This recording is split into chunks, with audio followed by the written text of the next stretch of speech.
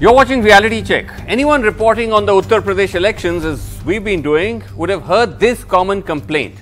The menace of stray cattle has worsened since the Yogi government came to power, invading fields and damaging crops.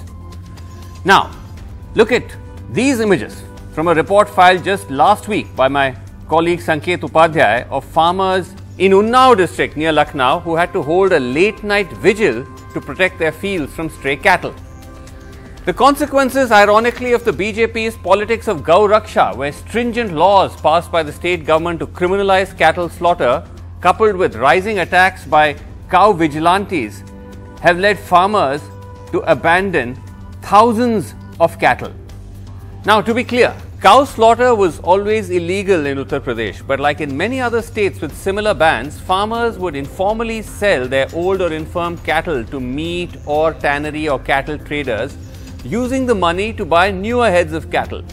But the tough new laws and fears of vigilante violence put an end to this informal trade, and instead, cattle owners say they had little choice but to let their unproductive cattle loose.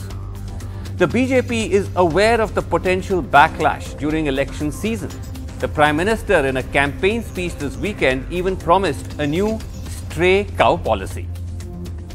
आप लोगों को छुट्टा जानवरों से जो परेशानी होती है, उसे दूर करने के लिए 10 मार्च के बाद नई व्यवस्थाएँ बनाई जाएगी। भाइयों बहनों, जो पशु दूध नहीं देता है, उसके गोबर से भी आय हो, ऐसी व्यवस्था मैं आपके सामने खड़ी कर दूँगा, भाइयों। So, a new policy after the results that raises the question what has the BJP government done for the past five years? Now, they say they've raised funds to fund cow protection and have used money to build hundreds of gaushalas to house the stray cattle. But Mariam Alvi travelled across Uttar Pradesh to test the claim versus the reality. आप कह रहे हो कि यहाँ इस वक्त गुस्सा है? ये गाय बछड़े छुड़वा दे इन्होंने हमारी सारी फ़सल नष्ट कर दी इन्होंने। अच्छा। रात को हम चार सौ डंगर यहाँ है और जिस खेत में बढ़ जाओ खेत का क्या हाल नाश कर दिया है। हाँ? क्या कर दिया बीजेपी ने? From Muzaffarnagar district in western UP, क्या उगाते हैं यहाँ नहीं करे मिलत कुछ लाई भर मिलत। अच्छा। सरसों बस मिलती है। सरसों बस मिलती है। हाँ, चार साल से जानवरों के कारण सरसों बस मिलती है चार से गाय तीन से गाय फिर कम से कम वही। जानवरों की संख्या पाँच से छह सौ है। हाँ इतने से कम जो नहीं खुले बछड़े छोड़ रहे उसकी हाँ बात कर रहे फिर आवे फिर रही है अच्छा। क्या तो अच्छा ये दिक्कत हो रही है। हाँ, उनके लिए गौशाला भी है पर वहाँ गौशाला में कोई अंदर कर ही नहीं पाता। अच्छा वो गाय बिड़ नहीं रही है तो इसीलिए बगनी है गाय वो तो पूरे खेत में गाय हाँ पूरा है। ना चला हार मतलब पूरे खेत में मिली अच्छा सत्यानाश कर to Bundelkhand in the south. The chorus is the same. Stray cattle destroying crops. According to government data, stray cattle in Uttar Pradesh has increased by almost 2 lakhs since 2012, a jump of 17%. The state government claims to have addressed the problem by charging a cow cess and using the funds to ramp up gaushalas across the state for farmers to leave their old cattle. The Yogi government has ramped up spending on preserving cattle in the state. In 2019-20, the government spent 203 crore rupees. By 21-22, the spending has more than doubled to rupees 424 crore. There are 5,664 cow shelters in Uttar Pradesh, where around 8 lakh cows have been preserved as of 31st January 2022. But it's not clear whether these are a part of the almost 12 lakh stray cattle in the state. But the reality of these gaushalas does not match the rhetoric. We see multiple gaushalas like these in the rural parts of Kanpur district. But many of the people here tell us that most of these did not exist a while back. Many of them have come up in the last couple of months and some of them even just a couple of weeks ago in the run up to the UP state assembly elections. इस गांव के प्रधान हैं आप और आप ये गौशाला भी चलाते हैं यहाँ पे ये सरकारी है कि प्राइवेट है ये गौशाला सरकारी है सरकारी है अस्थाई अस्थाई अच्छा तो ये आप कह रहे थे यहाँ पे हमेशा से ये गौशाला था ना ना अभी एक हफ़्ते पहली तारीख से हाँ। शासन से आदेश हुआ हमारे बीडीओ साहब एडीओ पंचायत साहब ने आदेश दिया कि भाई गाय संरक्षण करो। ये कब से खुला है ये? जी एक महीना हुआ। एक महीने हुआ है? जी जी। तो इससे पहले ये गाय कहाँ रहते थे? सब ऐसे ही सब जंगल में घूमती थी। अच्छा जी। नुकसान होता था? जी। कितना? अरे बहुत होता था। आदमी हर जाते थे खेत रखाते रखाते। तो यहाँ पे गौशाला पहले से पहले था। से नहीं, हाँ पहले से ही है। पूर्व कार्यकाल में जब- सेक्रेटरी और जब एडीओ पंचायत उसमें थे आचार संहिता में हमसे जो पूर्व प्रधान है उसने बनवाया। नया बना है कि पहले से था?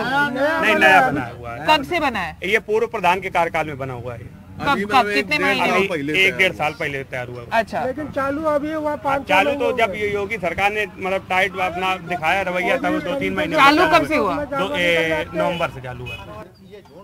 But even these गौशालास are hard to run तो अंदर हो गया तो कितना मिलता है शासन से?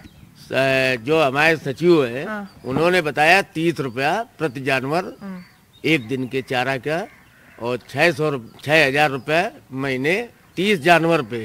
या तीस से कम भी होंगे तब भी एक अगर इकतीस हुए तो दो लेबर रखेंगे। ये है। अच्छा तो यहाँ पे अभी कितने जानवर हैं? यहाँ पे हमारे पास इक्कीस जानवर हैं। पंद्रह रुपए किलो भूसा है। दो किलो हम भूसा गाय को नहीं खिला पा रहे हैं।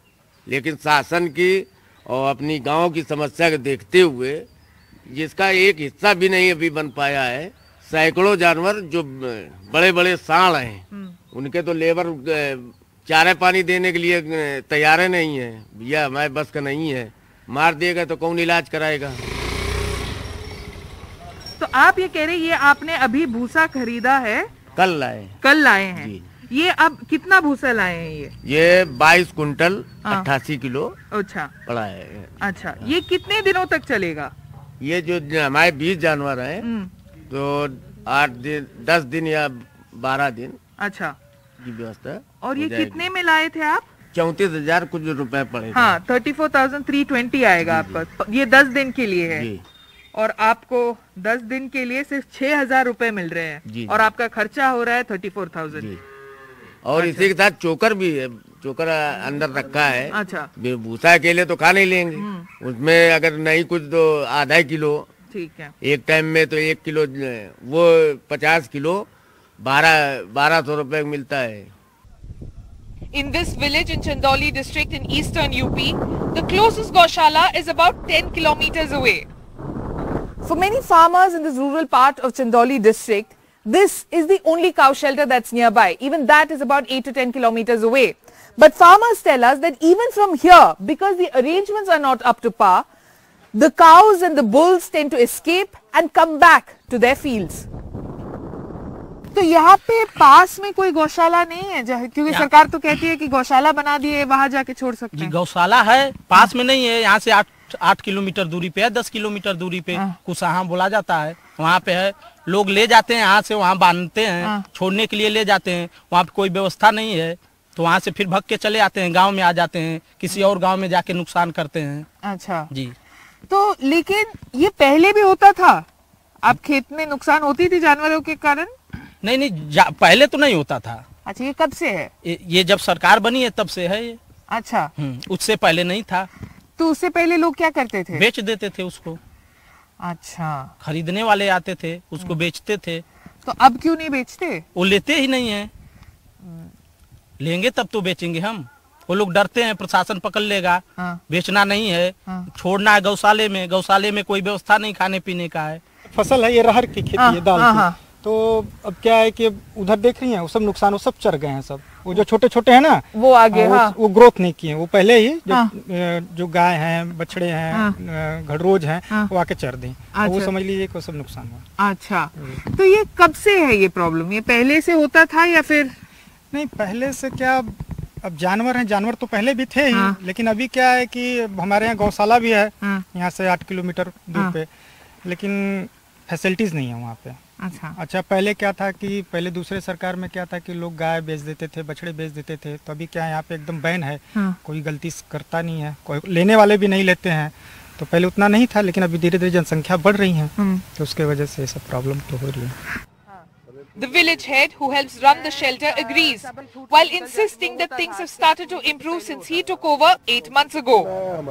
पास के जो गाँव वाले थे वो कह रहे थे वहाँ पे आपके यहाँ सुविधा बहुत कम हो, है जो हमने भी देखा सुविधा बहुत कम है और ये भी उनका ये कहना था कि यहाँ से जो है गाय भाग जाते हैं कभी झोड़ जाते हैं फिर वहीं से क्योंकि बाउंड्री बाउंड्री कुछ नहीं है आ, कभी छूट के निकल जाते हैं। तो बाउंड्री जब तक पूरा नहीं होगी तो ये बताइए कि चार आदमी उस जंगल में रह रहे हैं तो कितना देखेंगे? अगर कोई आया हथियार भिड़ा दिया अब तो नहीं हमारे कार्यकाल में नहीं हो रहा है। लेकिन समस्या तो है ही है। हाँ आपके इलाके में वो कह रहे थे कि एक ही गौशाला है तो कितने गाँव के लिए है ये एक? गाँव के लोग लाते हैं। अच्छा। और नहीं तो बाहर से मतलब वो कितने दूर दूर से आते हैं लोग? ज़िले से भी ला देते हैं सब। अच्छा। ज़िले से भी पशु पकड़ करके ला देते हैं सब। गौशाला कम है यहाँ पे? गौशाला कम नहीं है। गौशाला जो है उतना ही अगर बाउंड्री दे दिया जाए अच्छी तरह से बाउंड्री हो जाए तो उसमें कोई दिक्कत नहीं। नहीं है। अगर लोग दूर से ला रहे हैं इसका मतलब उनके बगल में तो नहीं होगा। नहीं होगा। गौशाला अगर खूब बड़ा बना दीजिए हाँ। और उसकी व्यवस्था नहीं है हाँ। तो उस गौशाला से क्या मतलब होगा? तीस रुपया आप मात्र दे रहे हैं एक पशु को। तीस रुपया में एक पशु खा लेगा? सवाल ही नहीं उठता है। अगर हम उसको चारा और खरी खिलाएँगे तो खा लेगा वो। बिल्कुल बिल्कुल बिल्कुल। तो अच्छा। चल रहा है खिला रहे हैं हम लोग। ठीक है। In some gaushalas like this one in central UP Sitapur, the conditions of the cow speaks for itself. All these regions all voted for the BJP last time. Will the anger against stray cattle hurt the party? On the face of it, most BJP voters say they will stick to the party. यहाँ पे जो बच- जानवर का मसला बता रहे हैं ये प्रॉब्लम है यहाँ पे जी हाँ अच्छा क्या करते हैं जानवर मैडम रात में सबसे ज़्यादा परेशान करते हैं और जो छुट्टा जानवर घूमते हैं हाँ। ये जानवर किसान अपने अपने खेतों में लेके लाठी डंडा बैठता है। हाँ। आपने पिछली बार वोट किया था? जी मैम। किसको वोट दिया था? भाजपा को। इस बार ही सोचे है? जी। किसको देंगे? भाजपा को। तो लेकिन आप कह रहे हो कि दिक्कत हो रही है गाय फ़सल खराब हो रहा है और ये सब। मैडम भाजपा की नीतियाँ गंदी नहीं है। हाँ। भाजपा की नीतियाँ बहुत अच्छी हैं। हम्म, समाज कल्याण के हित के लिए हैं उनकी जितनी नीतियाँ हैं। और हम इसी वजह से भाजपा को लाइक करते हैं। पिछली बार ही किसको दिए थे? जिसकी बारी भी भाजपा को दिए थे। अच्छा उन्होंने काम किया है पाँच साल? पाँच साल में तो हम लोग को गरीब आदमी हैं हम लोग को राशन पताई मिल रहा है। हाँ। सब कुछ मिल रहा है। इस बार ही किसको देंगे? हम लोग तक लेसा हुआ अखिलेश का साइकिल। अच्छा पिछली बार किसको दिए थे? हम लोग साइकिल पूरा परमानेंट साइकिल हमारे परमानेंट साइकिल है। जी। सोचा है कि किसको वोट देंगे? वोट तो देंगे हम तो यादव है ही हाँ। तो हम तो साइकिल वाले हैं। अच्छा। हाँ। तो पिछली बार किसको दिया था? पिछली बार भी साइकिल को दिए थे। सोचा है कि किसको वोट देंगे? जी हाँ। किसको देंगे? योगी बाबा। अच्छा पिछली बार किसको दिए थे? योगी बाबा। अच्छा क्यों? हम लोग योगी बाबा के भक्त हैं। योगी अच्छा। बाबा। अच्छा। लेकिन जो आप कह रहे हो कि प्रॉब्लम हो रही है खेती में नुकसान हो रही है उससे कोई फ़र्क नहीं पड़ता। कोई फ़र्क नहीं पड़ेगा। बस सरकार व्यवस्था कर रही है धीरे धीरे पाँच साल में कितना व्यवस्था कर देगी सरकार? अच्छा। उसको समय दीजिए तो हर व्यवस्था होगा धीरे धीरे सब व्यवस्था हो जाएगा। With camera person Manoj Thakur and Rakesh Singh this is Mariam Alvi for NDTV All right, uh, joining me tonight uh, on the show, we have with us Mahesh Verma, leader of the BJP. Uh, from the Congress, we have Supriya Srinath, national spokesperson, and uh, Sagri Ramdas. She's a veterinarian scientist and expert in the cattle uh, sector and the cattle economy. Thank you all so much uh, for joining us. Uh, Mahesh ji ये बताइए कि यही मैं आप- हमारा story में जैसे हम बतला रहे थे कि जो आपका जो गौ रक्षा जो पॉलिटिक्स आप करते रहते हैं कि आप गौ के पक्ष में हैं ये क्या बैकफायर हो गया कि इतने बछड़े अब छोड़े हुए हैं यूपी में और जैसे आप लोग भी बता रहे हैं और आप भी खुद देख रहे हैं कि उनके लिए कोई जगह नहीं है, गौशाला ठीक से जो कहा जा रहा है वो बने नहीं है। तो ये तो फिर कैसे आप, काऊ के पक्ष में कैसे हुए? ये तो उल्टा हो गया। श्रीनिवासन जी, ये तो भारतीय संविधान के आर्टिकल 48 पढ़ लीजिए। उसमें भी गाय को किस तरह से गाय गौवंश को किस तरह से हमें संरक्षित करना है, किस तरह से बचा के रखना है। 26 अक्टूबर 2005 को नहीं मेरा कोर्ट ने दूसरा जो सवाल है। मेरा मैंने कहा कि अगर आप पूरी बात खत्म करने नहीं नहीं मैंने कहा अगर नहीं नहीं नहीं मेरा सवाल कुछ और था। मेरा सवाल ये नहीं था कि आप जो बैन है वो तो पहले से ही बैंड था। काउ स्लॉटर तो यूपी में पहले से बैंड था। आपने कोई नई चीज़ नहीं की। आपने लॉज को और कड़ी कर दी।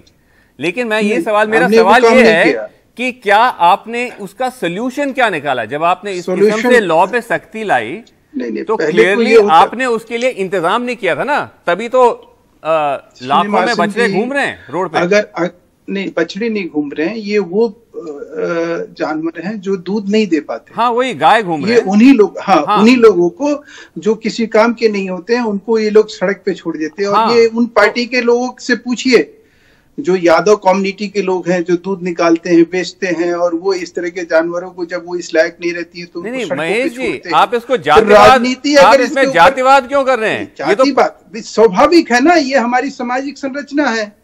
जिसमें आप कह रहे हैं होती हैं अभी तक एक सेकेंड सरकारी एक कमाल की आपने तो कमाल की बात कर दी। सरकारी आंकड़ों के मुताबिक की क्या हकीकत की बात नहीं है नहीं? मैं कह रहा हूँ बारह लाख बारह लाख एक सेकेंड। बारह लाख बारह लाख सरकारी आंकड़े बारह लाख यूपी में इस वक्त गाय स्ट्रे कैटल जो थे छठे मतलब जो गाय है वो घूम रहे हैं।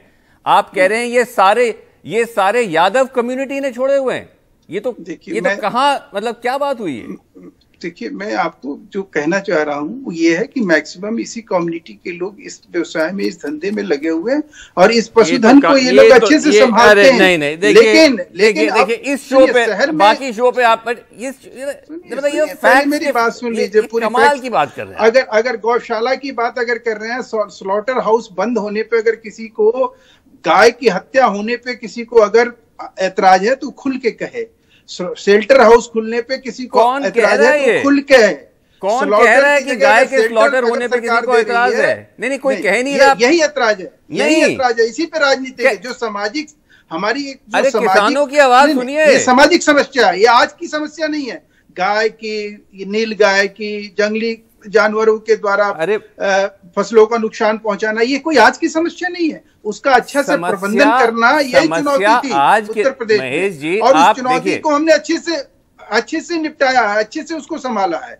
आपने अच्छे से संभाला है बारह लाख गाय घूम रहे हैं उत्तर प्रदेश में। गौशालाओं में लोग कह रहे हैं कि गौशाला में से भाग रहे हैं पैसे नहीं दिए सरकार ने।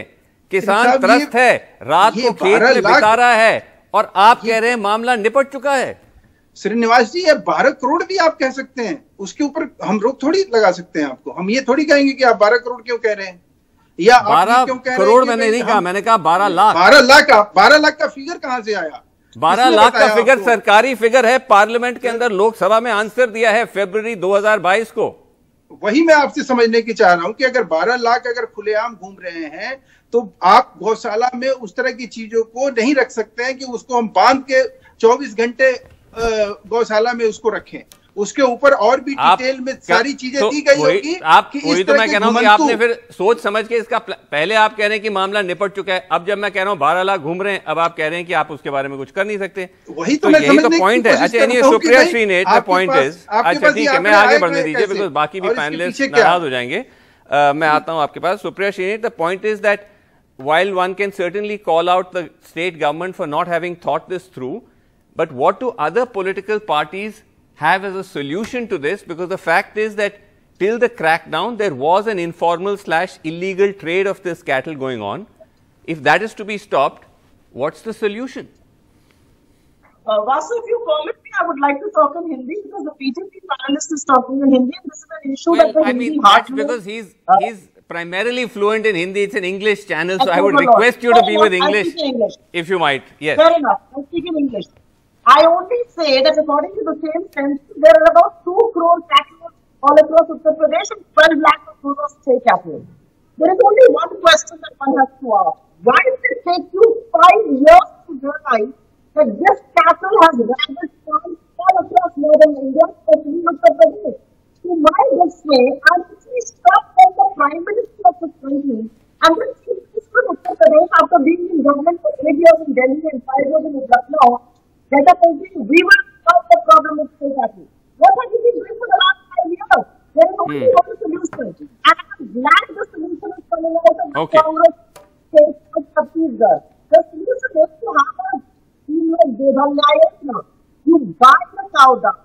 It incentivizes the farmers to keep the cattle, also promotes, Right. you know, organic. That's the only solution. Okay. Supriya, we'll just come back to There's a slight audio issue. No, no, Supriya, here, listen to me. No, no, just bear with me. There's a bit of an audio issue. We'll fix it and come back to you. Your, your, your big point is made that what have you done for the past five years? And I'll, and I'll just come to uh, Mahesh ji to respond to that. But Sagari Ramdas, you have been pointing out, and we've had these conversations before, very interesting, that this whole crackdown on cattle trade and uh, the, also the vigilante violence, let's not forget, has in a way been counterproductive to the to the cow, especially the Indian variant of the cow, that there is now less, uh, you know, farmers are, are less keen to to adopt and to grow these cattle. What is the reality? Uh, Sagri, I think you're on mute. Sorry. Yes. Just unmute yeah. yourself. Can you hear me now? Yes, we can hear Yes. you. Go for so it. that yeah, there are two points over here. Just historically, if we look at UP, between 1955, when the Anti-Cow Slaughter Act was uh, legislated in UP, right up to 2002, actually UP permitted on certification by government veterinarians the slaughter of bullocks and bulls which were certified unfit for work. Okay, so that's one thing. It's in 2002 that the first amendment was made where they actually then brought in and they criminalized the slaughter of bull and bullocks. Right. Then, much more recently in 2020, what they've done is that they've further tightened up the kind of punishments. And of course, you've pointed to that. And the most important, the element over here is that there are two things, and we've spoken about this over and over again. That number one, it's the dairy cattle, but number two, it's the work animal. In fact, in your visuals, it's so very clear that there are a number of bullocks and bulls which have been turned out by farmers. And why do farmers do that? They do that because farmers use bulls and bullocks as draft animals Hmm. for a specific window. And then once that's over, they sell the animals. Number two, the governments across the board, central and state, have been pushing for mechanization, particularly in the last five years under this new political regime. You see the intensification of mechanization, which is being pushed. And primarily, if you look at the indigenous cattle, the role is that the male of the indigenous cattle are used as draft animals, right? Right. So if you have a si- situation plow. where on Yeah. one hand, your policy is pushing you away from, it's pushing you intensification of mechanization. And number two, of course, the fact is today that earlier the governments in power turned a blind eye, equally hypocritical in my mind, because you're just, you have a law in place which is basically criminalized any form of transportation out of the state or Right. any kind of slaughter within the state. So governments in the past have just turned this blind eye. You've been hypocritical. You've pushed everything underground. You've made it so-called illegal trade. And today, what the BJP is doing is this brought in the Gaurakshas. So finally, what will farmers do? Because the cycle of production requires, whether it's draft or whether it's dairy, the cycle of production over and over again, we have Right, repeated requires you to sell. All figures have, Okay. yeah. And so I'm going to end there, but I want to come Yes. back on the issue of dung. Okay, I'll come. me we'll see. Okay, we'll, yeah, we'll yeah. see if there's Because we'll the see if there's time for that. yeah, But my dung- yeah, we'll come back to that. in just issue. So let me ju- let me just come back to that because I, I'm short of time and I have to Right. go to the others also very quickly. Uh, Mahesh Verma ji main point जो है कि आप जो कह रहे हो कि हमने प्रॉब्लम सॉल्व कर दिया है जब खुद प्रधानमंत्री कल ही मंच से कहते हैं कि मार्च 10 के बाद एक हम स्ट्रे कैटल पॉलिसी बनाएँगे मतलब पाँच साल से कोई पॉलिसी नहीं थी कि प्रधानमंत्री खुद कह रहे हैं कि अब हम अबे हमें जित, दोबारा जितवा दीजिए अब हम पॉलिसी बनाएँगे कहीं ना कहीं ये एक्नॉलेजमेंट नहीं है कि ये काफ़ी बड़ा फेलियर है आपका।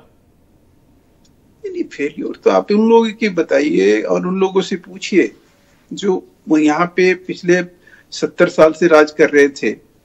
और ये एक गौवंश ऐसा है जो भारत की एक अस्मिता है जिसको हम माता कहते हैं। उसकी वो- लगातार वो- जो बंद करने की कोशिश करने और स्लॉटर हाउस खोलने के लगातार एक जो मुहिम चलाई गई यहाँ अरे नहीं नहीं उसकी किसी कोई एक वर्ग को कोई बात नहीं कर रहे ना। आपके सरकार ने पाँच साल से अगर आप इतने गौ भक्त हैं तो ऐसा क्यों है कि आपके सरकार के अंदर 12 लाख कैटल रोडों पे घूम रहे हैं और प्रधानमंत्री जी खुद हाँ, कह रहे हैं बहुत कि बहुत हम अच्छा पाँच साल अबे हमें पाँच साल अब हम नया पॉलिसी स्टार्ट करेंगे पाँच साल के बाद। बिल्कुल बिल्कुल आपने बहुत सही प्रश्न उठाया लेकिन सवाल यह है कि आप इसको 10 साल की अगर संख्या को आप ले लेंगे कि उस हाँ, समय घुमंतु जीव घुमंतु जानवरों की संख्या क्या थी जो कि बयालीस लाख से ऊपर की ऊपर थी? अब उसमें गाय कितनी मैं थी बताऊँ आपको, कितने पहले कितने थे? नहीं नहीं अगर ये मैं बहुत जिम्मेवारी के साथ महेश जी आप बिना आंकड़ों के मतलब बुरा ना मानिए लेकिन अगर दो शो पे आंकड़े। 2012 के आंकड़े लेके और 2019 में आप आके बैठे हुए हैं कि उस समय 10 लाख थे और उस समय आप उससे पहले के आंकड़े लेकर आइए। कमाल आपको है अब आप कह रहे हैं मैं आपको कहूँगा कि 2012 में जब आपकी सरकार नहीं थी 10 लाख थे अब 12 लाख हो गए हैं तो बढ़ गए हैं आपकी सरकार के अंदर। अब मुझे कोई और आप टाइम पीरियड अब मैं बहुत बात कर अगर अगर नहीं नहीं this can't be the answer आप उसको अच्छे से देखभाल करेंगे अच्छा सुप्रिया जी ने लास्ट ये करेंगे वो घुमंतु जीव नहीं बढ़े हैं जो आप कह रहे हैं ना कि घुमंतु जीव बढ़े हैं ऐसा नहीं है कुछ। अच्छा ठीक है ये महेश वर्मा शांत हो जाइए महेश वर्मा जी। the problem with the BJP is that everything is use for its political gain in Banda there were live cows that were breeding and they were being buried that's the reality of the bjp so don't hide behind this cow this religious factor the reality is you made the lives of farmers a living hell through your policies Godhan Nyay प्रिया योजना जी आप आप उसी party के हैं जिसके नहीं नहीं एक सेकंड इंटरप्ट ना करें ऑफिशियल नहीं नहीं ऑफिशियल मेल आता है कि काफ को काट के जो है कोरोना का सीरम तैयार किया नहीं जाता है देखिए ये इस तरह की नहीं नहीं अब इंटरप्ट ना करें महेश जी आप आप आप नहीं नहीं महेश जी आप हमारे सीनियर वो हैं अब तो इंटरप्ट नहीं करना चाहिए वक्त खत्म हो चुका है लेकिन सॉरी आई एम सॉरी नहीं नहीं कोई नहीं सुप्रिया के तो रहता नहीं है तो दूसरे को इंटरप्ट करके अपनी are बौखलाहट out of निकालते time though, Supriya. Quickly wrap if you, unless, or can I wrap? Or because we are out of time? But. Srinivas, I just want to make, I want to make the point of dung. I think it's, I think it's very important. Okay, I, okay, okay. Yeah, the thing with dung is Once there again- is- ca- there can never be an economy of dung. Right. Because the price today of a kilo of dung, kilo of dung today is selling at rupees two. If you have to in, ensure that a farmer just about levels out their expenditure on a pair of bullocks, Yeah. you're going to have to price that dung at rupees 330 rupees. Right. Okay. Important point. Which is That's preposterous. okay. Important point. We'll have It to leave it there. farmers I'll come back to Zagri Ramdas. Important point on dung. It's in response to the Prime Minister saying you can monetize uh, infirm cattle with dung. The interesting dimension of the story, which we didn't get to talk about from Mariam's report, was that despite this anger that farmers have against the stray cattle, the voices we heard there said that they may still end up, those who were BJP voters earlier, may still end up voting for the BJP again. We'll have to leave it there. Thank you for watching. Goodbye.